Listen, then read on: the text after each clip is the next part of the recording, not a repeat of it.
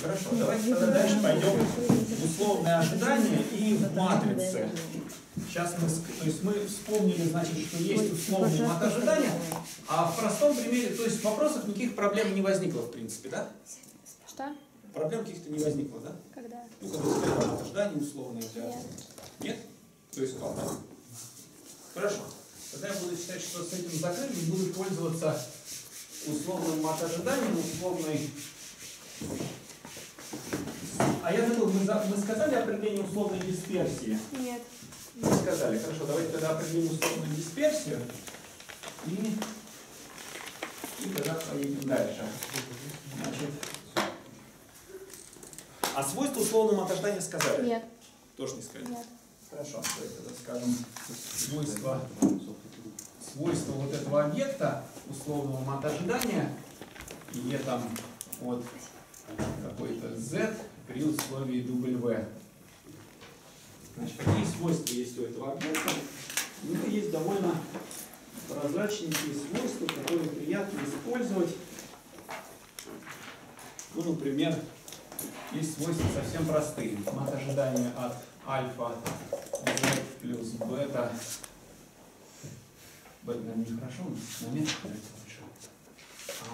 А плюс b при условии w, это а на e z плюс w плюс b. Первое свойство простое линейность. Второе свойство мат ожидания от а при условии какой-то, если вы знаете какую-то членичную w, ну как бы мат ожидания константы все равно остается константе.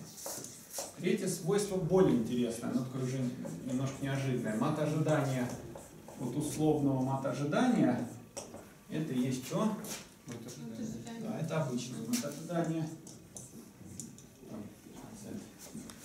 Так, какие еще у нас есть свойства? Еще у нас есть свойство, что да, z, то есть z и w это случайные величины, а а и b это константы. Так, хорошо. А, это запр- что? Чего, чего, чего? Это за определение уже, да? Ну, вот это это из определения. А, а это, ну, некое Не, не, про третье. третье из определения, да, по определению. Четвертое свойство, оно несколько обобщает третье, то есть это такое обобщение третьего. Обобщение третьего свойства. А нет, давайте пока. Ну дальше, четвертое это обобщение третьего. Если я возьму мат ожидания от мат ожидания от z при условии какой-то функции от w, а нет, нет, давайте я сначала, ну, давайте я сначала скажу, наверное, давайте в другом порядке. Сделаем сначала э, четвертое будет мат ожидания от функции от w при условии, что я знаю w, это сколько? Да, это f от w. И потом пятое, это какой-то микс из третьего и из четвертого. А, То, что мат ожидания от мат ожидания от z при условии, что я знаю w, а потом при условии, что я знаю f от w. Тут главное не забудьте, где скобки, а где вертикальные палочки. Наверное, мне стоит... Давайте я покруглее их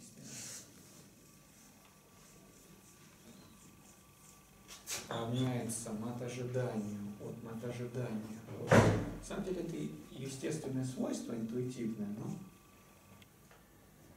фум при условии фум и равняется e от z при условии f от w. Во.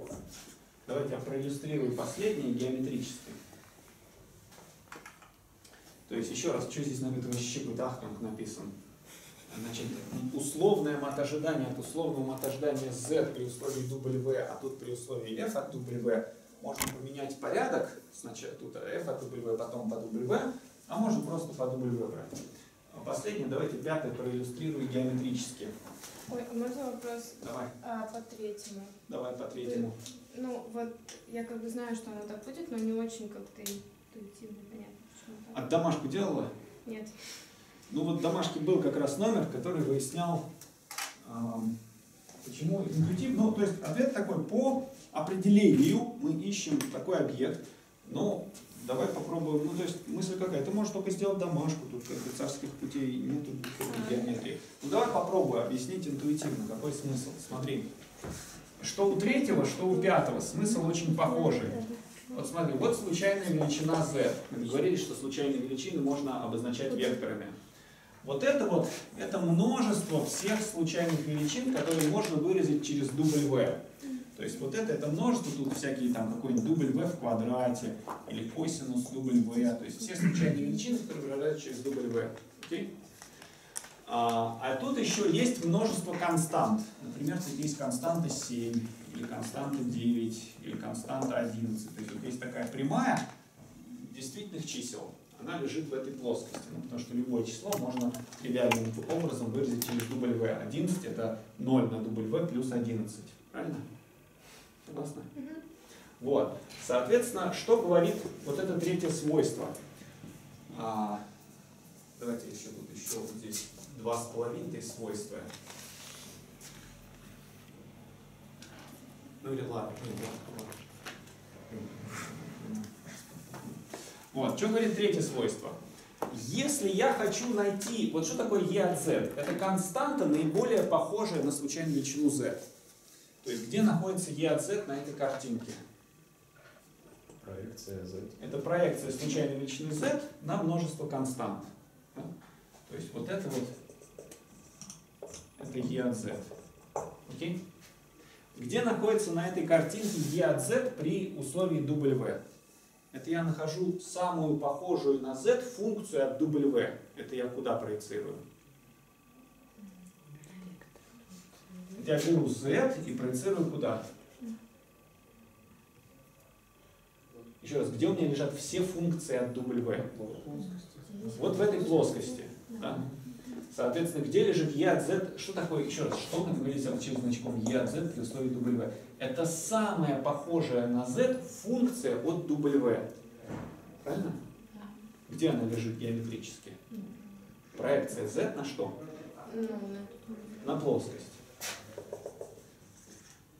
Вот это, вот этот вектор, это e от z при условии W. То есть это какое-то выражение, там, не знаю, арктангенс W плюс косинус W делить на W квадрат плюс 17. А вот эта предыдущая проекция, это просто? Это проекция z на что? На а, константа, прямую, где константы лежат. Да, да. Числовая прямая, она вложена в эту плоскость. Потому что числовая прямая, ну, она лежит в этой плоскости. Вот. Соответственно, а что такое e от e от z при условии W? Это я беру вот эту случайную величину, которая лежит в плоскости, и куда я ее проецирую? Константа. На множество констант. И вот это утверждение говорит, что я попаду в ту же точку. Правильно? То есть, когда я буду, вот у меня вот здесь прямой угол, есть у меня прямой угол, и вот это, если я спроецирую сюда, у меня снова получится прямой угол. Нормально? Да? Ну, это естественно. Вот если я возьму какую-то точку вот здесь вот, спроецирую ее напрямую, вот на этот плинтус, да, у меня получится, ну, вот давай вот эту вот точку, я спроецирую на плинтус, у меня получится вот здесь вот эта рисочка. А если я возьму вот этот iPhone спроецирую вниз на плоскость, на пол, а потом с пола спроецирую на плинтус, то я попаду туда же. Согласна? Вот, ну это вот, это вот факт. Еще раз, по смыслу. Это константа, н- наиближайшая к случайной величине z. Это по смыслу, это константа, наиближайшая к функции от W, наиближайшей к z. Да? И это то же самое, что константа, наиближайшая к z. Окей? Вот. Поэтому у этого есть геометрический смысл. E от z это константа, наиболее похожая на случайную величину z. А от z при условии W это функция от W наиболее похожая от z, а E от этого этой это константа наиболее похожая на функцию от W, наиболее похожую на z. Ну, Долго, но вот. И по школьной теореме, собственно, о трех перпендикулярах это одно и то же. Школьная теорема о трех перпендикулярах как раз и говорит, что если попасть перпендикулярно на плоскость, а потом напрямую, вы попадете в ту же самую точку, что если сразу напрямую провести перпендикуляр. Нормально? То есть это 11 класс. Вот. И это тоже. Вот это тот же самый факт. То есть смотрите, что вот это за обобщение? А, Давайте я проиллюстрирую его в каком-то частном случае. А, Вот я попробую проиллюстрировать пятое. Вот есть у меня произвольные функции от W, то есть косинус W, там, синус W, окей? Ну, лучше там как-то, здесь всякие, м, ну, не знаю, там W, тут вот W в кубе, косинус W. А есть функция от W квадрат. Согласны? Согласны вы, что функция от W квадрат это подмножество функции от W? Или это непонятная мысль? Понятно. Ну, например, э, W в кубе можно выразить через W в квадрате? Нет. Ну как? Можно Три в вторых да. А, и если W была отрицательна, ты потеряешь. Да. Ну, то есть, смотри, вот я утверждаю, что W в квадрате это W в кубе в степени 1 треть, вот это правда. Это Я всегда. А, две Ой, трети. две трети. А вот э, то, что W в кубе, это W... Ну, то есть, человек, который знает W, и человек, который знает W в квадрате, кто из них знает больше? Дубль. Да, тот, кто знает, ну понятно, что если оно не отрицательное, то они знают одно и то же. Вот, но если общий случай, если W, например, там формально 0,1, то есть она может иметь отрицательное значение, то знание W дает больше, чем знание W квадрат, правильно? Вот, поэтому получается, что, например, косинус W можно выразить через W в квадрате? Я знаю W в квадрате, я смогу посчитать косинус W? Да. Это же четная функция. Смогу. Прям Тейлора. Косинус W это что такое? Косинус W это что такое? Один. 1 минус что? В Ну, квадрат такой, на да. два. v квадрат на 2 плюс В четвертый на четыре. v четвертый на 4 факториал и так далее. Поэтому если вы мне скажете w квадрат, то я вам скажу, чему равно косинус w, не зная, чему равно само w. Правильно? Поэтому вот э, есть тут вот подмну, вот это вот все функции, вот это, это множество, это все функции h от w, да? А вот в рамках этой плоскости есть подмножество, куда входит, например, косинус от w, и куда входит w в квадрате, вот это подмножество, это все функции от w в квадрате. Согласны? И вот эта теорема говорит, что вы можете, если вы хотите z спроецировать на w, а потом результат спроецировать на, вот, на часть, да, на функции от- на, на какие-то w в квадрате, то вы можете сначала спроецировать на w в квадрате, а потом ничего не делать, и вот результат получится один и тот же. Нормально? Или тяжело? Ну это же только в случае, если f это нормальная функция, то есть одному w соответствует там один. Не, любая. Нет, любая. Как раз я и говорю, что если вот квадрат, то как раз а, одно и, то- одно и то же получается. Смотри, когда сейчас давайте квадрат напишем. Написано, что мат ожидания от z при условии w при условии w в квадрате равно мат ожидания от z при условии w, на примере w в квадрате равно ожидания от z при условии w в квадрате, а потом еще ожидания при условии W. Ну, Давай попробую нарисовать. Значит, еще раз. Есть все функции от W. Их больше, чем функции от W в квадрате. Согласны? Нормально? Вот, например, синус W. Я не смогу сказать, чему равен синус W, если мне сказали W в квадрате. Правильно? Вот, а вот если мне сказали W, я скажу, чему равен W в квадрате, чему равен синус W, ну все что угодно. Вот, соответственно, вот это множество, это все функции от W. Давайте я, чтобы была максимальная аналогия с тем рисунком, я скажу, а давайте вот все функции от W в квадрате я изображу как прямую. А вот это, вот это прямая, это все функции от W в квадрате. Окей? А, слушайте, здесь же не видно, черт возьми, что же мне сразу сказать.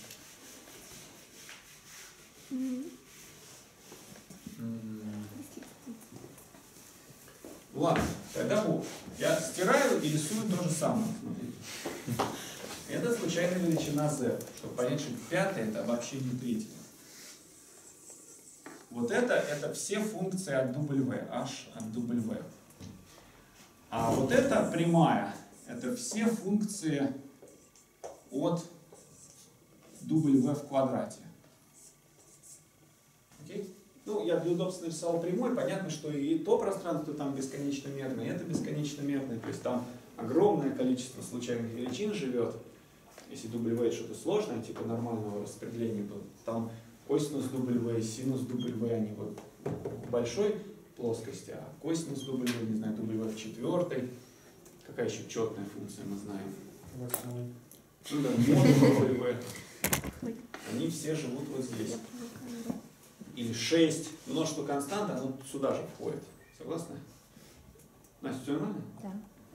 Вот. Ну и, соответственно, что говорит вот это условие? Это говорит, сначала спроецируем на большую плоскость, а потом результат спроецируем на прямую. Правильно? То есть вот это, это я нашел E Z при условии W, а потом спроецировал результат на прямую. Вот это, это E от, e от Z при условии W, потом при условии W в квадрате. Что говорит крайний результат? Крайний результат говорит, да, можно прямо сразу проецировать напрямую. Крайний результат говорит, да, пожалуйста, прямо сразу проецируйте напрямую. А что говорит промежуточный результат? Почему можно переставить? Что если мы уже порядок спроецировали, Потому что если мы спроецировали на результат на пло, напрямую, То да, потом на... то как спроецировать на плоскость, если мы уже находимся на прямой? То есть мы уже находимся на прямой, то мы уже находимся на плоскости, и поэтому вот это проецирование, оно просто ничего не дает. Это на самом деле вот это четвертое свойство. Если четвертое свойство что говорит? Ну, если вы уже живете в плоскости, вот здесь лежит z, да? потому что z это уже функция от W, а это множество всех функций W, четвертое свойство. Если вам надо спроецировать на плоскость, вы там и останетесь. Разумно? Хорошо. Значит, вот они свойства условного математического ожидания. Давайте пойдем дальше. Нормально?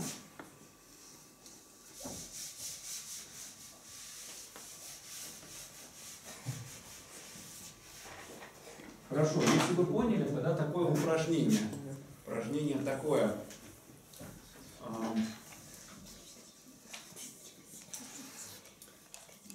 Чему равно мат ожидания от z при условии w квадрат минус мат ожидания от z при условии w в четвертой? Ну, один. Почему? Ну, то же самое в квадрате в четвертый. Ну как, тут Тоже квадрат, а тут тоже- четвертой. информацию дает, да? Ну да. Ну да, мне надо рассмотреть множество. То есть, когда я говорю про э, мат ожидания от z при условии w, на что я проецирую? Я проецирую случайную величину z на что? На все функции от чего? W в квадрате. А здесь я проецирую на все функции от W в четвертой. Ну понятно, что если какая-то функция, она выражается через, ну, косинус, да? Если косинус W, он выражается, конечно, через W в квадрате, но он же выражается через W в четвертой, правильно? Нормально? Вот, поэтому это равно нулю. Окей, хорошо. А, ну не влез, наверное, в камеру. Так, давайте дальше пойдем. Следующая характеристика а, это условная дисперсия. Как она определяется? Нам понадобится, когда буду говорить про условную гетероскеластичность. Можно вопрос? Давай. Если бы вместо W в четвертой стоял бы косинус. W. Хороший вопрос. Я думаю, что уже, что все-таки знание косинуса это меньше, чем знание W. Ну, то есть понятно, что знание W квадрат через ряд Тейлора позволяет восстановить косинус W. Да? Правильно?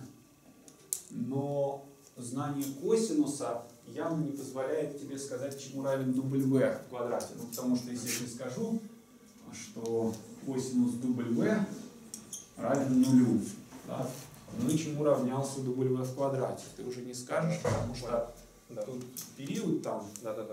пика. А если мы возьмем, допустим, косинус в квадрате, и одно вычтем из другого, мы же можем тогда сказать?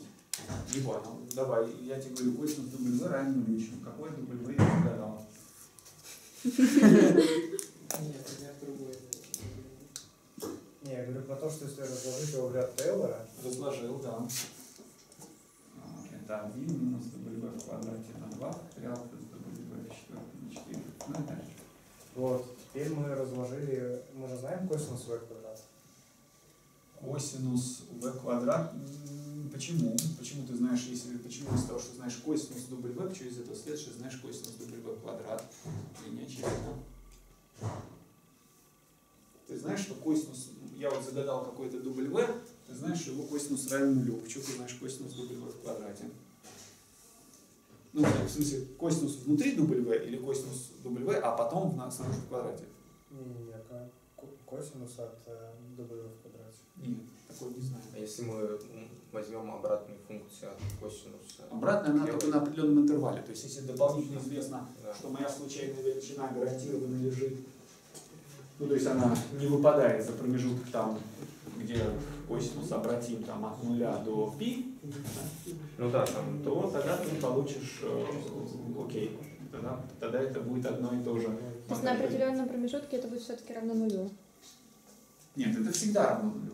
Нет, если, если другая функция. Если, если априорно известно, что W это, скажем, равномерная случайная величина на промежутке от 0 до π на 2, вот если мы знаем, что W равномерная от 0 до π на 2, тогда мат ожидания от z при условии W в квадрате минус мат ожидания от z при условии косинус W Да, да, тогда это тоже ноль. Если дополнительно это известно, Мгм.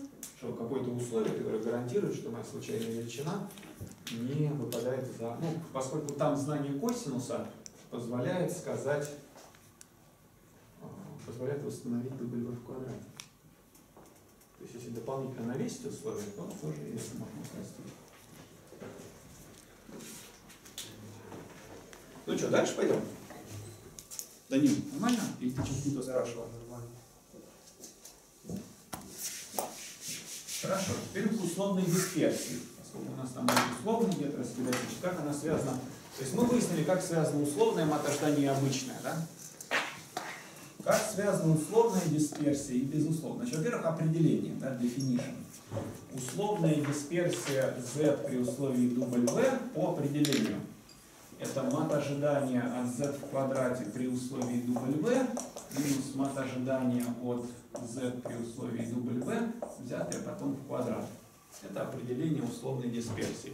Почему именно такое определение? Ну, потому что оно дословно дублирует определение обычной дисперсии, где это было мат ожидания от z в квадрат минус мат ожидания от z потом взятое в квадрате. То есть откуда взялась такая формула? Ну, чтобы совпало со старым. Нормально? Соответственно, какие появляются свойства условной дисперсии? Ну, например, давайте решим такое упражнение. Найдите дисперсию от 2z плюс 3, если вы знаете 7z минус 8.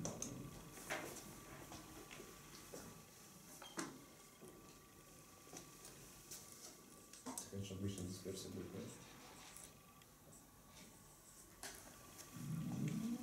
Может быть. Мы же можем опустить, вот, допустим, семерку минус 8. Вопрос такой ко всем. Можем мы опустить семерку минус 8? Меняем мы множество, на которое проецируем? Нет. То еще раз, все функции, то Там есть вот если рассмотреть все функции от 7z минус 8, правда ли, что это то же самое, что все функции от z? Да. Да. То есть если какая-то функция, ее можно выразить через z. Правда ли, что ту же функцию можно выразить через 7z минус 8? Правда, нет? Правда, конечно. Ну, если вы знаете, если Петя знает, что к чему равно z, знает ли он, к чему равно 7z минус 8? Знает. А если Коля знает, чему равно 7z минус 8, знает ли он, чему равно z? Да, знает. Поэтому в плане множеств это одно и то же. Поэтому здесь условия можно запросто подменить на что? Ну, за На z. Хорошо, это дисперсия 2z плюс 3 при условии z. Окей, давайте дальше. константу Ну, можно получается просто. Да, ну, можно, можно интуитивно, то есть дальше есть два решения. Есть интуитивное, а есть жестко по свойствам математического ожидания. Интуитивное решение какое говорит? Вот вы знаете, чему равно z. Насколько вы сомневаетесь, насколько, по-вашему, а, неопределенность сохраняется в значении 2z плюс 3? Столько же, насколько Ну, вы точно уверены, чему оно равно, правильно? Дисперсия 0. Вот, можно интуитивно сказать, что 0, ну а если честно, по вот этой формуле. Давайте я все-таки честно по формуле пройду. Что мне надо посчитать? Мне надо посчитать мат ожидания от 2z плюс 3 в квадрате при условии, что я знаю z, минус а, мат ожидания от 2z плюс 3 при условии, что я знаю z в квадрате. Верно? Можно же было просто плюс 3 убрать, да? Что проще было. Ну, мы же пока не знаем такого свойства условной дисперсии. Это же свойство... Я согласен, что сейчас мы за- запи- за- запишем с- свойства условной дисперсии, они будут дублировать в каком-то смысле старые свойства безусловной дисперсии. Слушайте, может нам свет включить? Нет? Как вы думаете? Можно.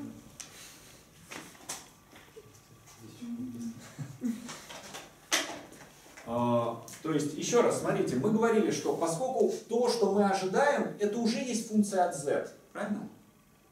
То есть у нас опять складывается ситуация, когда то, что мы ищем, уже лежит в плоскости всех функций от z. Поэтому, когда я делаю проекцию, что у меня остается? То же самое. Коль, что ты как-то хмуришься? Точно все? Да, да, хорошо. Не, я хмурюсь, потому что... Ну еще раз, вот, вот это у меня все функции от z. Это все h от z. А, а мой y это есть 2z плюс 3 в квадрате. Он уже там, он уже среди этих случайных величин. И я должен его спроецировать на эту плоскость. Кто получится? Уже получится, да? Значит, здесь получается 2z плюс 3 в квадрате минус. Здесь опять, здесь есть такая случайная величина 2z плюс 3. Это тоже функция от z. Соответственно, здесь в скобках получается 2z плюс 3 в квадрате. Вычитаем друг из друга. Получается 0.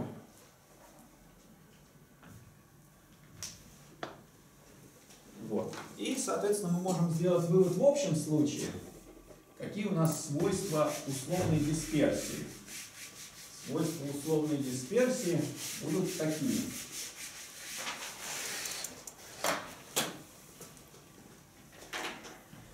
Свойства условной дисперсии будут следующие. var от z от az плюс b при условии w. Значит, на w можно не обращать внимания, да? А а вынесется как С квадрата. с квадратом. А квадрат дисперсии z при условии w. Дальше. Второе свойство. Чему равна дисперсия f от w при условии, что вы знаете w? Вот только что мы решали. Дисперсия 0. 0. Да. Это дисперсия 0. И еще одно такое свойство, которое тоже теорема Пифагора. Это теорема Пифагора во второй геометрии, в геометрии, где скалярное произведение задается ковариацией. Можно сформулировать вот такую теорему Пифагора, а, что обычная дисперсия и э, z это есть дисперсия, это вообще мне она очень нравится, она такая красивая, так легко запомнить, что это дисперсия от условного мат ожидания от z при условии w плюс мат ожидания от условной дисперсии z при условии w.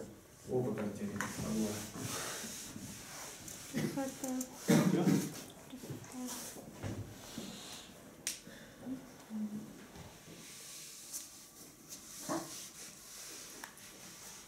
Давайте я покажу, а, ну, кратко так обозначу доказательства этой штуки. Так, доказательства идея.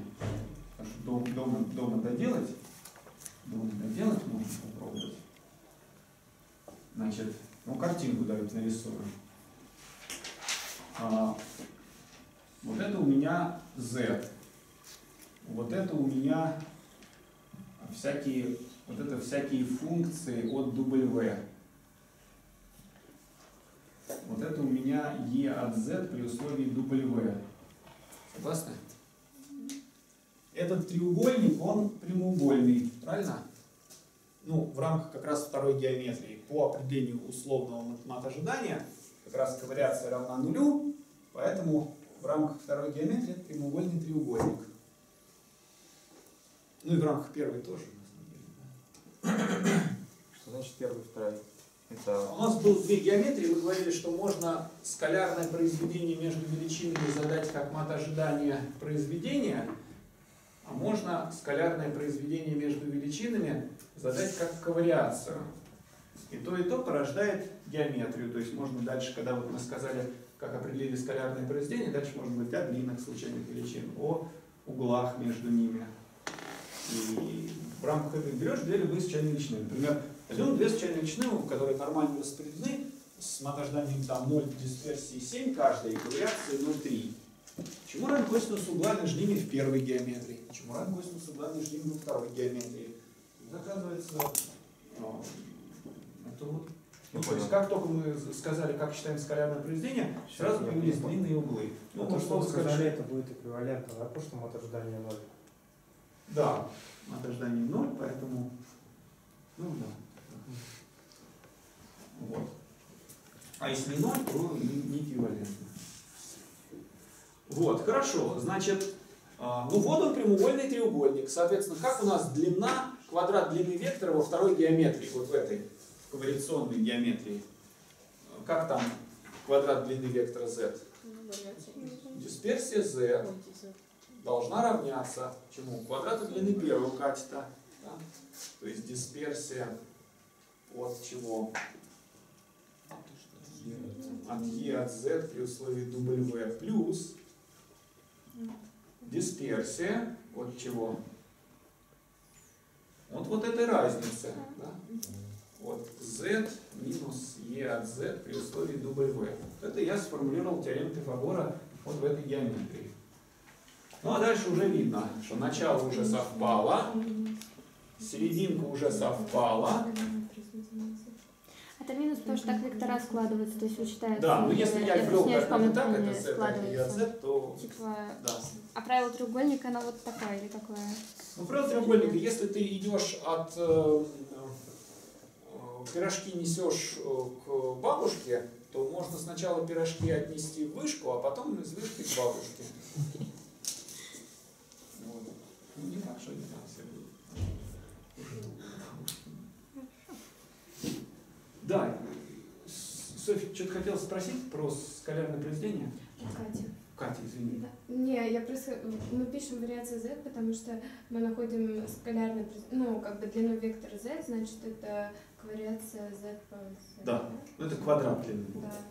То есть, если работать во второй геометрии, то квадрат длины вектора во второй геометрии, вот в этой, которую я галочкой отметил, длина квадрат вектора x, это x с x, ковариация, это, и это ковариация x с x и дисперсия. А в этой геометрии квадрат длины это ожидание от квадрата. Вот. И дальше осталось раскрыть, ну вот что дома надо сделать, надо раскрыть скобки вот здесь, потому что у нас есть же определение условной дисперсии. Можно раскрыть скобки внутри этого, раскрыть скобки внутри этого и увидеть, что о, да это одно и то же. Понимаете? То есть если вы раскроете здесь, здесь скобки и посмотрите на определение условного от ожидания на определение условной дисперсии, то у вас о, все сократилось баланс. Ну и геометрически вот получается такой прикольный факт, что дисперсия. Из этого в частности следует вывод, что настоящая дисперсия всегда больше, чем всегда... А, нет, не, не- То есть, а, ну по крайней мере, можно вот что сказать. Что больше? Мат что больше? Настоящая дисперсия Z или мат ожидания от условной дисперсии Z? Что вот из этого больше? Первое не менее. Да, первое не меньше. То есть единственное исключение это когда то есть они будут равны, ну то есть вообще говоря, вот var z условная дисперсия, она вообще случайная величина, но мат ожидания от нее это не то же самое, что обычная дисперсия. То есть если я возьму мат ожидания от условной дисперсии, я обычную дисперсию не получу. Окей? Так, хорошо. А равны, когда z равно v, да? А, Не только. Ну, Давай посмотрим, измерим. когда они равны. Но это достаточное условие, что если z и v это одно и то же, то, конечно, они равны. Ну, давай посмотрим. Чтобы равнялось, нам нужно, чтобы Нет, чтобы дисперсия- получить z измеримо относительно v. Я думаю, что не только в этом случае. Просто как иначе у нас будет 0? Там... Вот эта дисперсия от вот этой, ну, если, например, Не, я про нижнюю говорю, которая вот справа подчеркнутая над первой геометрией. Так, погоди, еще раз, на нижней справа подчеркнуто. Еще раз. Вот, э, Я утверждаю, что вот из этой формулы, поскольку дисперсия не отрицательна, следует, что левая часть больше либо равна вот этому слагаемому. Нормально? да. А я смотрю вот чуть ниже строчки, Да. вот эту вот штуку. И смотрю, как получить, чтобы она была нулем. Не она, мы же хотим, чтобы вот это не уравнялось. А, да, да, да. Вот, но это тоже хороший вопрос. Когда дисперсия z будет равна дисперсии условного мотожидания z? Ну, равна действительно будет только если... Ну там, чтобы Вот это- это нужно, чтобы дисперсия была нулю равна, да? Потому Да. что она. Вот, поэтому, в принципе, вот такой факт. Но, э, если, например, z и w независимы, да, смотрите, о, кстати, э, давайте упражнение такое, упражнение. Известно... Ой, слушайте, я еще одно свойство мотожидания условное не выписал. Давайте вернемся к свойствам условного мотожидания. Можем вернуться? Да. Давайте еще одно впишем. Какое оно по счету? Шестое. Если Z и W независимы, то мат ожидания от Z при условии W есть мат ожидания от Z. То есть если знание W никак не помогает,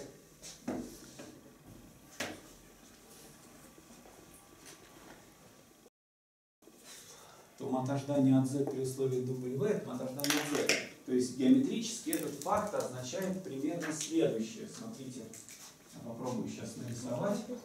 Что? Ну, это как определение же тоже независимых э, этих ну, событий тоже такая штука. Ну, Ну да, с вероятностью, да, да. ну чем-то да, чем-то похоже. Обратно не следует, да? Обратно... А, нет, не следует. О, кстати, хороший, вот, Данил, супер вопрос. Сейчас я скажу три степени независимости, да? Давайте, о, слушай, Данил, как раз сюда в тему, классный вопрос. Давайте три степени независимости. Потому что все знают, что вот если случайные величины независимы, то из этого следует, что они не коррелированы, правильно? Да? А в обратную сторону не так. Согласны?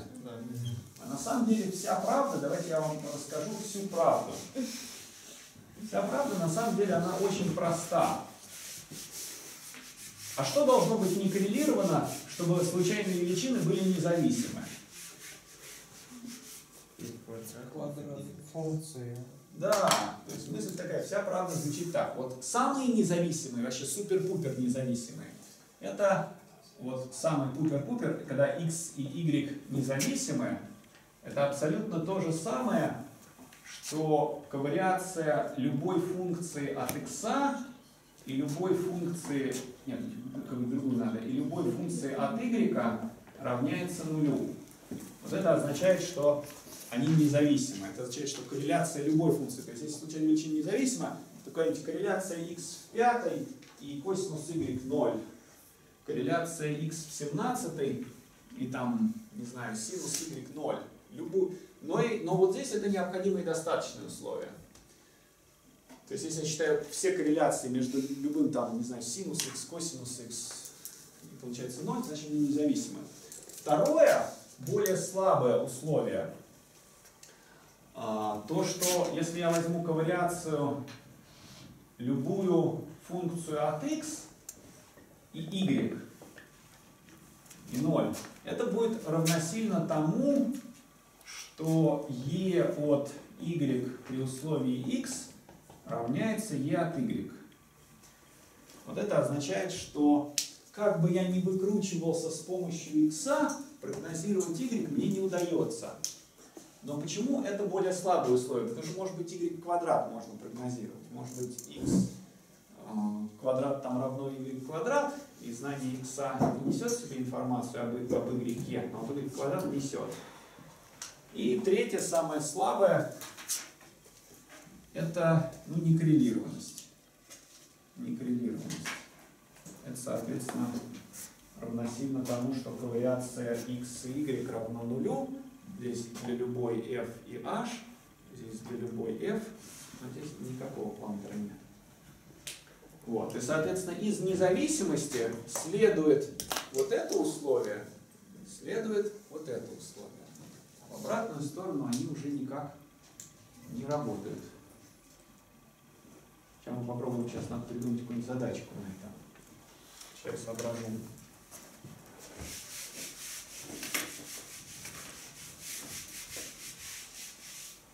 Сейчас, давайте я соображу.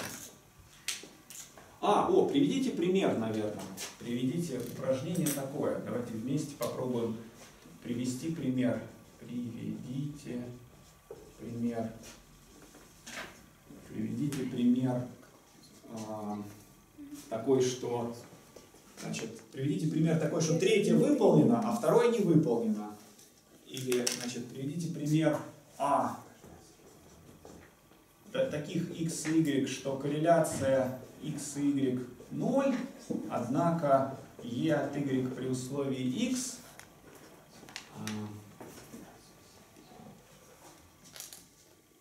а, нет, наоборот, оно сейчас. Наоборот. Наоборот. Значит, приведите пример, приведите, приведите, ой, я уже писал, приведите пример. Первый. Значит, когда вот это не выполнено, то вот это выполнено. Да? То есть, когда x и y зависимы, но e от y при условии x равняется e от y. Борисович, Да. вопрос Да. про некоррелированность и корреляцию ноль? Да. Вот Это некорре- тоже. А? Это же одно и то же. Ну, ты хочешь сказать, что там знаменатель может быть, Да, наверное? да, да. Ну, ладно. Ну, то есть, Ну, если не константы, то все нормально. Ну да. Ну, я, я понял, да. Вот если, если, То есть про константы нельзя сказать, что они не скоррелированы? ну, нехорошо вообще говорят, потому что константы у нее же корреляции нету. Потому что там знаменатель ноль числа. Ну, давай тогда, чтобы идеально строго было. x, y равно нулю. И по бытовому для неконстант, для неконстант это не коррелированность. Ну так, поправь.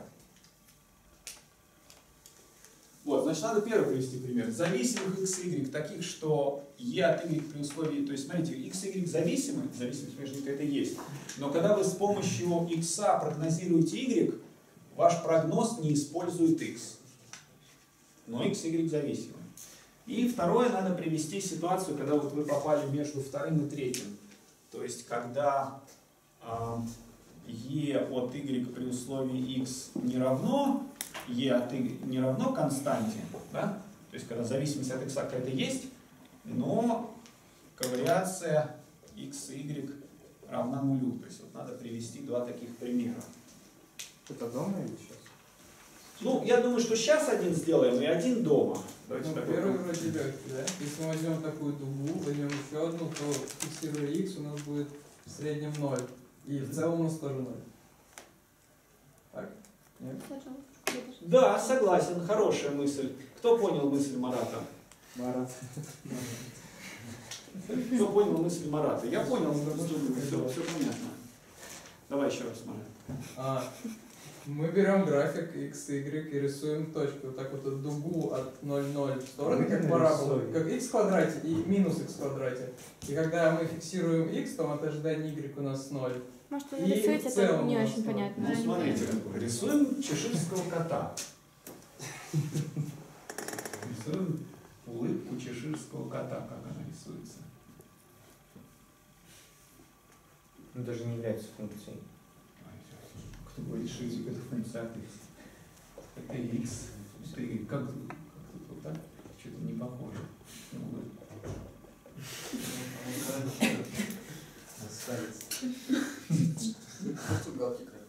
А если загнуть кверху уголки, уже не получится не получится. Не получится, да? Я кверху загибал уголки. Кверху загибал. Не, не получится. Ну, в смысле, если дискретно. Не получится, как только ты загибаешь что-то кверху, не пройдешь. Смысле, я кверху и к низу загибаю. Они друг друга компенсируют. А, ну ты вот так. Да, да, да. Вот смотрите. Это у меня x, это у меня y. Случайно выбирается одна точка на этой фигуре. То есть просто случайно вот равномерно по длине выбирается любая точка. Может вот это попасться или это, или это. Ну, любая точка случайно выбирается. Понятно, в чем суть эксперимента? Да? То есть выбрали случайным образом точку на этой, как назвать эту фигуру? Катя, как назвать эту фигуру? X.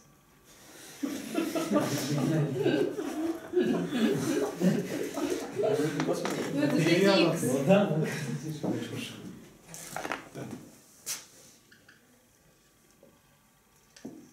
Вот это какой-то такой x, действительно. Выбираем, эту, выбираем случайно точку. x это абсцисса точки, а y это ордината. Смотрите, согласны вы, что x и y зависимы?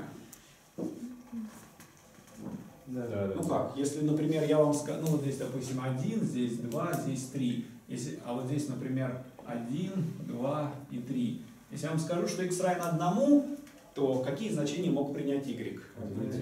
1, 3. А если я вам говорю, что x равен 2, то какие значения мог принять y? Только двойку. Поэтому понятно, что x и y зависимы. Знание x несет в себе а, какие-то вероятность про y. Ну, то есть, например, вероятность того, что а, y равен 2, да? вероятность того, что y равен 2, она не равна там, вероятности того, что y равен 2 при условии, что x равен 2. Что-нибудь такое, да? Вот. Хорошо, значит, знания, то есть они зависимы. Однако, а, давайте подумаем, чему равно просто e от y Вот на этой картинке в силу ее симметрии. А, чему равно e от y? Вот если мы Все равномерно, то. Равномерно, да, все равномерно. Фигура симметричная. Видно, что y может быть выше двойки, и с точно такой же вероятностью y может оказаться ниже двойки, правильно? Да? То есть у каждой точки есть симметричный ниже двух. Поэтому e от y к чему равно? Двум. Представьте себе, что вы знаете x, и ваша задача спрогнозировать y. e от y при условии x. Вот знаете вы, что x равен 2. Если вы знаете, что x равен 2, ваш прогноз y 2. Если вы знаете, что x равен 1, ваш прогноз y тоже 2, поскольку вы усредняете 1 и 3 с равными вероятностями, тоже 2. Если x равен 1,5, то ваш прогноз y Два. тоже 2. Получается, что какой бы ни был x, мой прогноз y это e от y. Да? Но, тем не менее, они зависимы. Окей? Это мы придумали. А вот теперь надо придумать другой пример, что прогноз y, когда вы знаете x, меняется, при одних x один прогноз, при других, при других x другой прогноз. Однако корреляция между x и y 0. Такое тоже возможно. Ну, в общем, даже. Окей? Подумайте дома. Тоже можно нарисовать картинку. То есть тоже достаточно на плоскости. Нарисовать тоже достаточно равномерного распределения. Не надо там далеко гулять. Окей? Так, все это я к чему вел? Я хотел еще одно упражнение сказать. Упражнение такое. А, Если x и y независимы, x и y независимы, то во что превратится а, во что превратится дисперсия y при условии x? Как ее можно упростить? Если x и y независимые величины, Игоря. Ну, согласен, да. Ну, давайте оставим это маленькой домашней работы еще одно. Будем, о, слушайте, нам надо придумывать задания какие-то. Что протоколировать, то надо как-то какие-то потом, потому что видео потом фиг отсмотришь.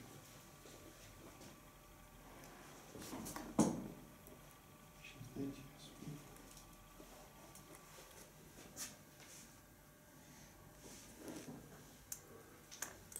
Вот, вот это. Вот, классно. Так, хорошо.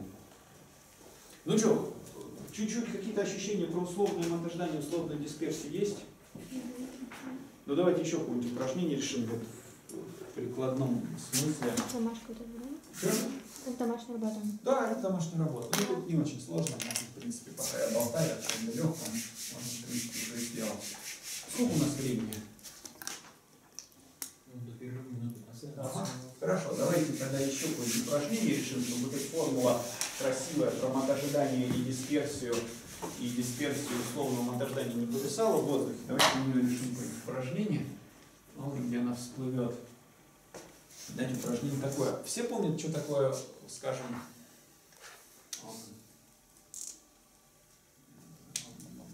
ну, ладно, если понадобятся какие-то факты про там равномерное распределение, чему равна дисперсия, мат ожидания, давайте будем считать их, э, ну, я там напишу, чтобы там не брать какой-то интеграл. Давайте такое упражнение. Значит, э, есть у нас купчихи, да, и они пьют чай. Купчихи пьют чай. Вот. Одна купчиха, ее зовут...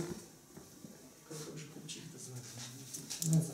Одну, по-моему, звали Сосипатра Карловна, а вторую, как звали?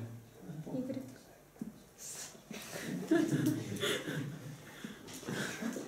Какой,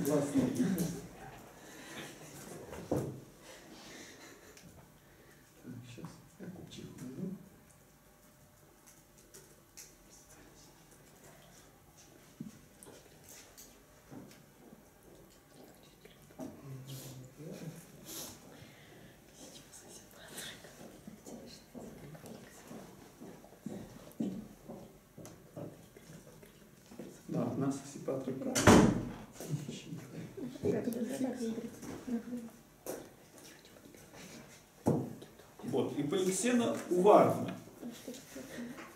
Это будет Сосипатра Карловна и Поликсена Это Уваровна. с экзамена, да?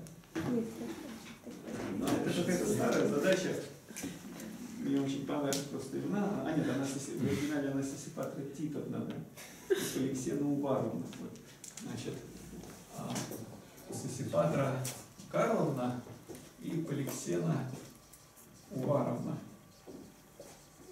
Значит, Сосипатра Карловна выпивает случайное количество чая X равномерное до одного литра.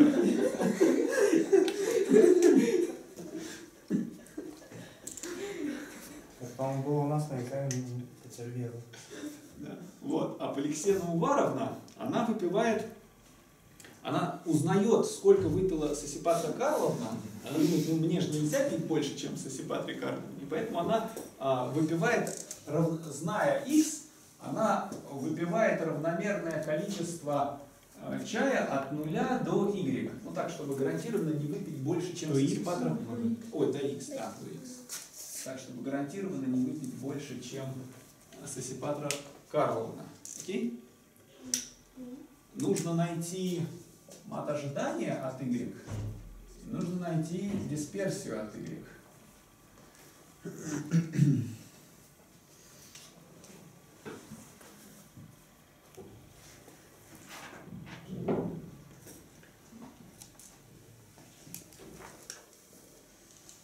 Это можно прямо сейчас. А как зовут вторую? У меня не могу успокоиться. Поликсена Уваровна. Спасибо. Поликсена Уваровна. Ну, первое это мат ожидания, мат ожидания, надо здесь. Да, первое вроде легко. То есть, смотрите, что мы знаем? Давайте я напомню факты про равномерное распределение, чтобы мы не мучились, там интеграл времени не тратили. Э, Мат ожидания от, а, вот если у меня какая-то случайная величина z равномерна от нуля, от а до b, то мотожидание от нее какое? Ну, это здравый смысл, это тут не надо помнить. Да, это просто средняя арифметическая краев, а дисперсия, ну тут э, надо честно интеграл взять, никак, я не знаю какого-то что-то на 12. интуитивного. Да, b минус а, деленное на М, 12. Да, да, да. Нет, я понимаю, что да, я просто думаю, есть ли какой-нибудь интуитивный смысл в этом геометрический. э, Ой, поэтому эту камеру. Еще там Олимпиада Николаевич.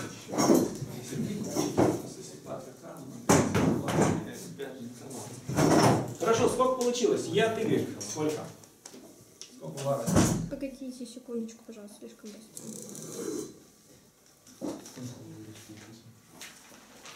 Я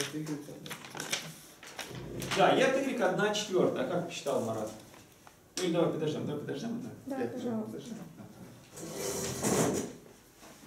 То есть э- это вопрос, как вот зная условные мотождания и условные дисперсии, вывести безусловные, как они связаны между собой.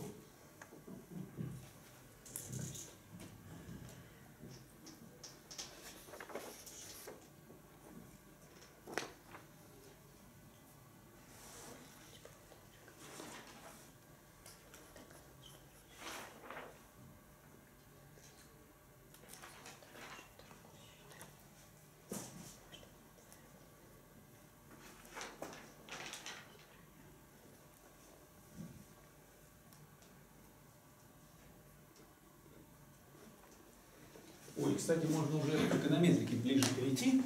А, Есть в эконометрике все часто, ну ладно, пока решать, в эконометрике просто все часто путают условную гомосхедастичность и просто гомосхедастичность.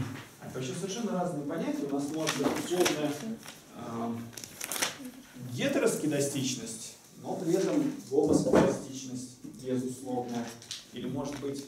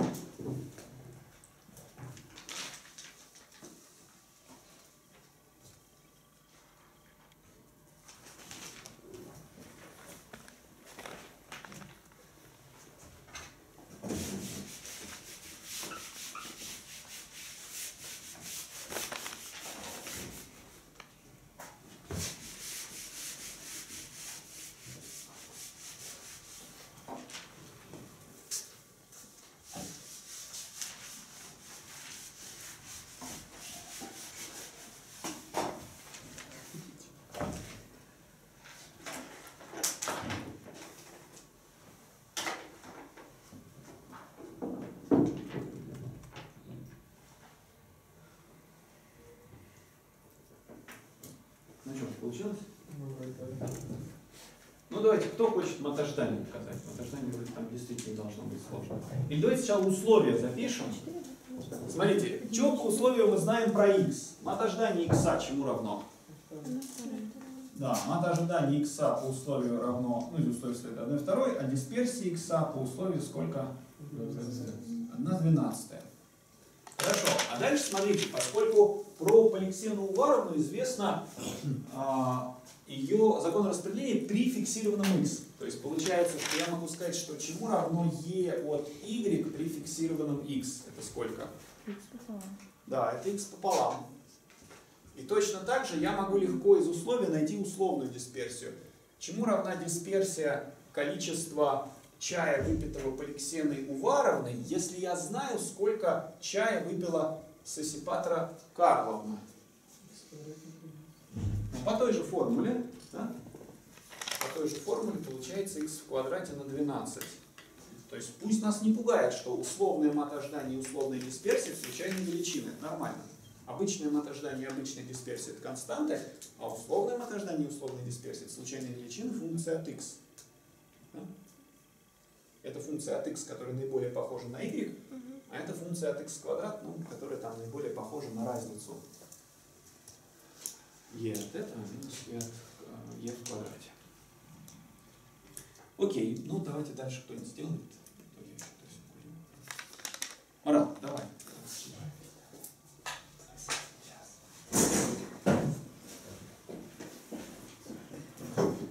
Держи, вот это благополучие пишется. Ну, я сейчас еще.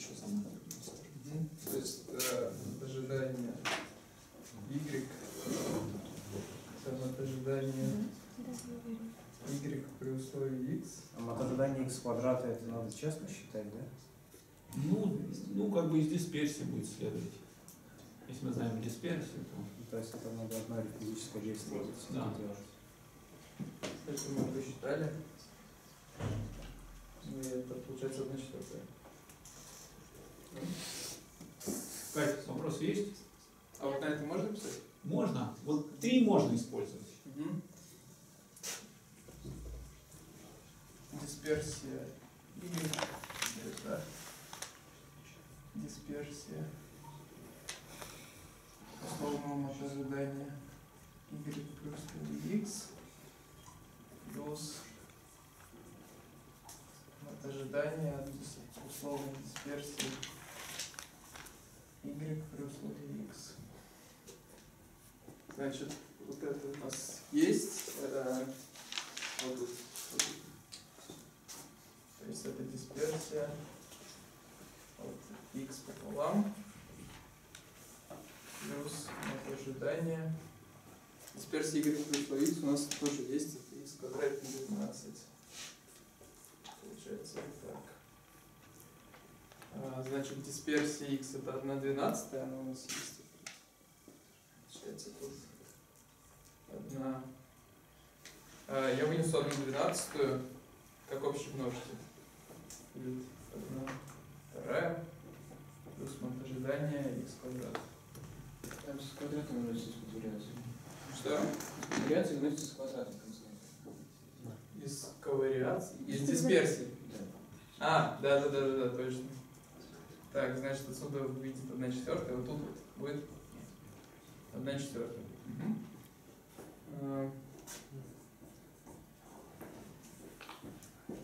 А, что, 1 четвертая плюс от ожидания x квадрата, это дисперсия x квадрата плюс от ожидания от x в квадрате.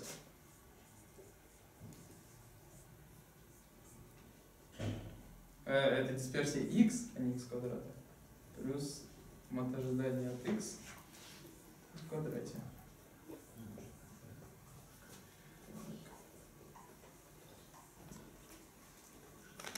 Дисперсию x мы знаем, это 1 двенадцатая. Мат ожидания x это 1 вторая. В квадрате будет 1 четвертая. Получаем 1 двенадцатая.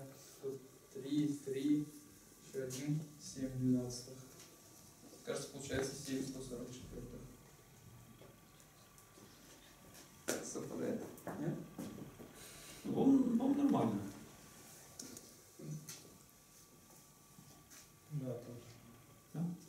Мере, до, до 70 Если вот отсюда правильно. Смотри, так? Нет? А, Не знаю, у меня один 140. Какой средний x квадрат? e от x квадрат это 1 двенадцатая плюс 1 четвертая получается А у меня 1 12. А, все, все, все, да, пон- понятно, да, правильно. мгм, Да. Ага, спасибо. Ну, то есть вот те формулы, которые мы обсудили, они позволяют связать условную и э, безусловные отождествление и дисперсии между собой. Ну, как-то если в условиях это есть, можно найти другое. Хорошо, давайте сделаем паузу. Настя, нажмешь там. Угу. Вот, делаем